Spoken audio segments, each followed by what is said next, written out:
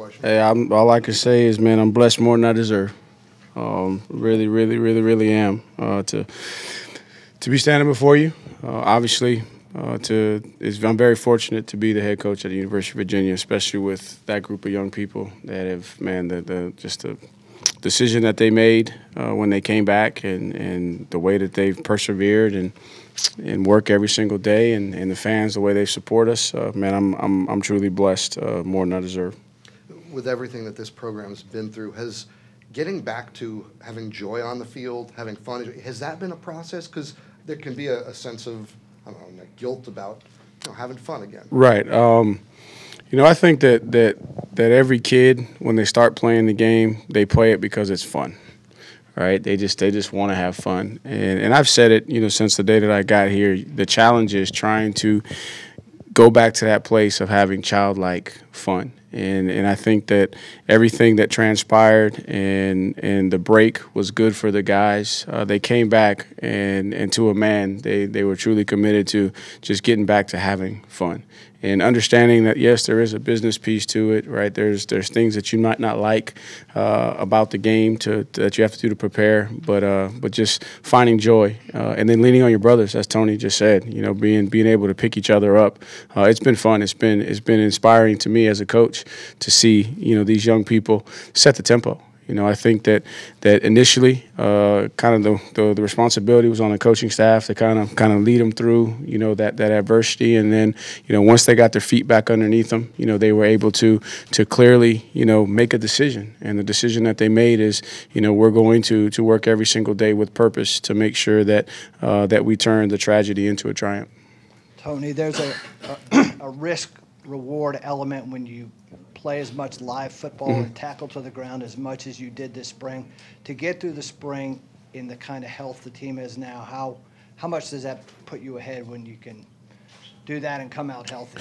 Right, great question. Uh, when you look at it defensively, uh, five guys that are projected starters or have been had starting roles were out this spring. So uh, you're already down from that perspective, and you're trying to evaluate. And you and it's year two uh, you're still, you know, kind of in that uh, uh, phase of, of installing, you know, the core offense, the core defense, and and then you start back over uh, each spring. Uh, so we, we really challenge the guys, and you only have 15 practices with three uh, live scrimmages, and then you have 50-50 days, and so you have to manage it. And there was a stretch where we had, you know, probably, you know, about six, seven days where, you know, most of those days we were getting after it, and the guy didn't have much of a break. But I tell you what, they came with that energy, that joy, that tenacity and uh, and we were able to um, to get good work. And I think also too, you know, what I've learned as a coach more times than not, when you're going full speed, you know, it's not when you get injured. It's when you're not when you're not going full speed. So we knew that we had to, you know, push this group to develop them, uh, and the only way you can develop them is playing, you know, playing football. Uh, and but we were strategic uh, the best we could uh, to make sure that we, we, we didn't, you know, take advantage of the guys' bodies, uh, but we pushed them uh, so that we can get good evaluation. Because for us, we don't put the pads back on, you know, until until August, and we don't play a game until September. And so this was the last opportunity for us to kind of evaluate the guys that we may not have seen in a game environment, and then also evaluate the guys that are going to have a more significant role, you know, in a in a game environment and see how they respond. Tony, I know we've talked a lot about Mike Hollins this spring, but to see him score in the spring game and saw his brother go over and hug him, he, he, put the ball on D'Sean's name. Uh, you know, what was your what was your reaction? Oh, it's just uh, um, that's what, what it's all about. And and when I saw that we got down there a couple times, you know, I called Deuce over, and you know, there's not going to be many other times where he's going to have a chance to see his brother score from that vantage point. And then I was talking about the celebration, what's he going to do, and uh, just you want wanted Mike to, to be able to, to experience that moment with uh, with Deuce because Deuce has been here all week and and really been an inspiration to us. You know, to see him uh, around practice every single day, and uh, just the the the guys really rallying around Mike and uh, and he, and you know, Mike and I had a, a, brief conversation on the practice field the other day, and it was about, you know, obviously Mike's still carrying a lot. You know, he's carrying a lot, and and uh, and he wants to to do everything that he can to do things the right way. Uh, and there's going to be days where where all of us are going to be emotional. I get emotional if I go a certain route on campus or on grounds at times. You know, I tear up a little bit, and so there's going to be times. But also too, I know that the, the the byproduct of everything that we went through is that relationships are going to be better, and so that was a great opportunity to see him and and uh, and his brother, you know, experience that, and then he's, he shared a moment with his uh, with his brother uh, that he knows was was with him in spirit today. As the game was winding down, I ran into a bunch of players who were stars here 15, 20, 25 years ago. They seemed pretty happy. What has been your relationship with that group? really trying to to bring all those guys back. And uh, I had a chance to go over to the alumni function uh, last night, and my message to them is, this is not my program; it's our program, it's their program. And you know they have blood, sweat, and tears equity uh, on Scott uh, in Scott Stadium over at McCue, uh, and I want them back uh, and involved. And I don't want anything from them other than them to have relationship with the younger guys, because for all who have played the game know that it's a brotherhood. And we need to make sure that that brotherhood is thriving and it's alive. Uh, but it takes us making sure that we make, uh, you know, Scott Stadium, make McCue, make uh, our program accessible to them, and then they have to make the commitment to come back. Because there's no better person to help these young people than somebody who's walked in their shoes, somebody who's walked grounds and lived their experience, and then also has been to the future. And so, uh, you know, I'm trying to to create a mentorship program with all of my players and a former player, just as a big brother, and in hopes that we can keep the circle going, you know, over time. Uh, but uh, they say tradition never graduates. And I want everybody who, who's a part of, of, of this program to understand what it means to represent the V Sabre. And I want every player to know uh, the responsibility that they have when they walk out on the field with the V Sabre. And there's nobody greater uh, than the former players to, to, to help them understand uh, what it means. Going back first and then Jackie. Um, how did it feel for you playing a game in Scott Stadium for the first time since November? It was uh, a little emotional at first. You know, you walk down and you have a chance to, to see the uh, the beautiful graphic uh, that uh, uh, that was designed and then then then, then placed uh, on the field by the grounds crew, and a little emotional. You know, when you think about it, because we're the ones that are fortunate to to be on the grass, where three young men are not uh, fortunate to be on the grass, and then their families will not have a chance to see them play on the grass again. So it kind of puts it in perspective. And then once you get back playing, you know, as a as a football player and a competitor, you know, that's your safe place. To be honest with you, uh, that's where you kind of. Nothing else matters once once the whistle blows. They put the ball down. Nothing else matters. Uh, it's where you can kind of find peace. You can find solace, um, and then once you step off the field, then kind of reality comes back into perspective. So, for me, it was a little emotional, and then they're addressing the fans at the end uh, is emotional as well because this is, I mean, it's real life. I mean, it's it's it's real life, and you never, as I told the fans, like you never wake up in the morning expecting or thinking that you're not going to see your loved ones again, right? You expect to wake up in the morning, right? You see your circle of friends, you enjoy them for a day, you go to sleep at night, and then you expect to wake up the next morning and and have those folks around. And for for for not just you know our folks, but all over the country, you know, people are dealing with you know the loss of life and and, and tragic loss of life, and so it, it puts things in perspective. And and so you have an opportunity to use that space to be a safe place, but you also have an opportunity to use that space to inspire somebody. And that was my message to the to the team: is we have a chance to change the world today. They truly do, uh, because a lot of people are tuning in to see, you know, how are the Cavaliers going to respond?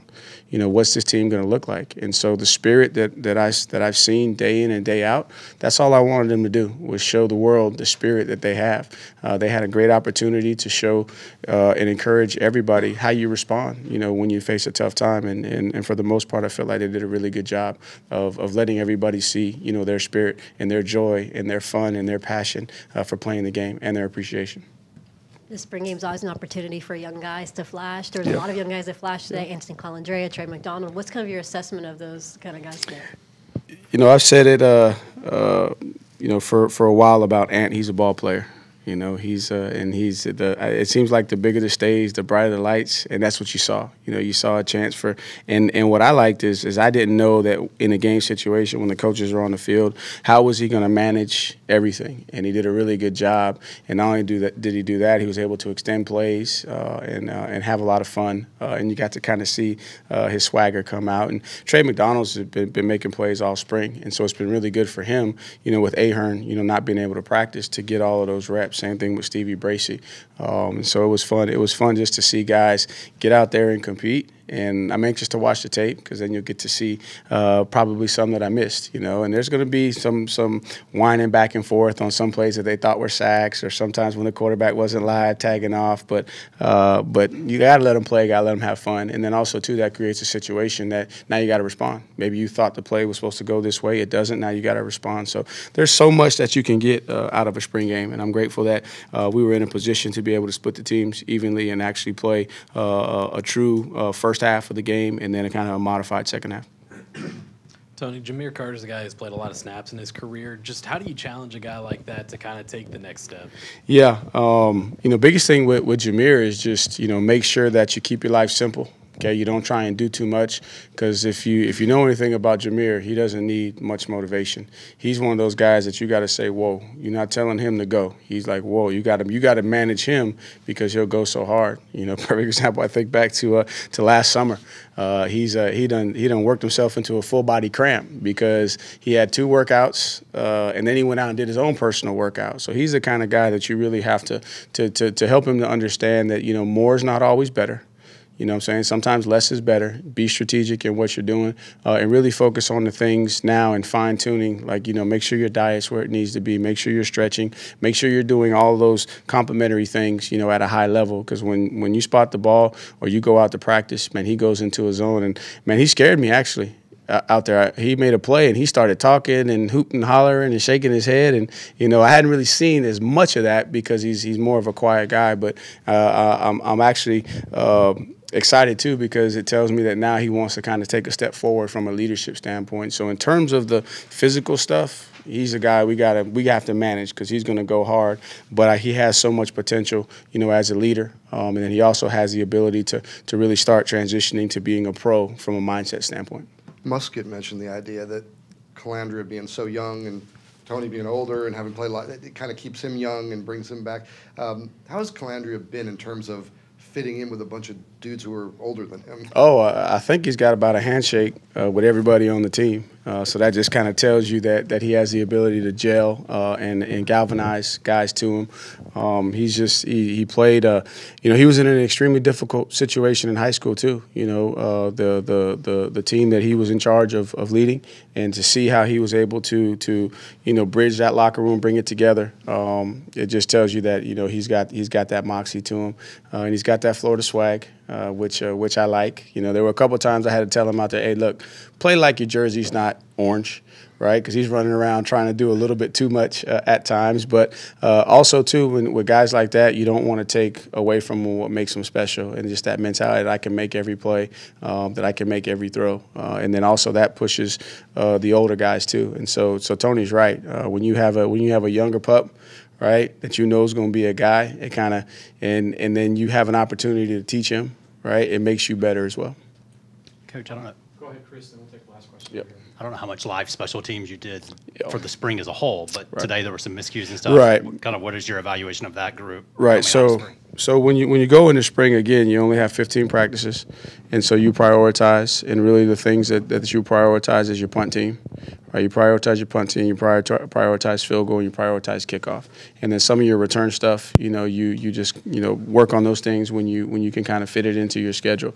And then when you go to the spring game, now you're splitting the teams evenly, so you don't have as much continuity when it comes to uh, special teams.